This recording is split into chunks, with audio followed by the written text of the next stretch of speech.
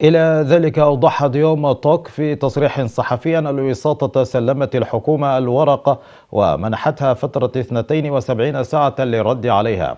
وأعرب ماتوك عن عضو الوساطة الجنوبية عن رضا الوساطة التام عن سير التفاوض.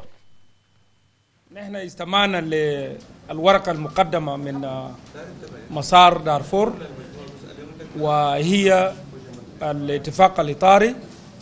تتحدث عن المبادئ العام الموجه للعملية بتاع تفاوض وبعض القواعد وإجراءات العملية تفاوض ومن ثم الأجندة والموضوعات التي يمكن أن تطرح في المرحلة المقبلة. طيبة لحياة طيبة.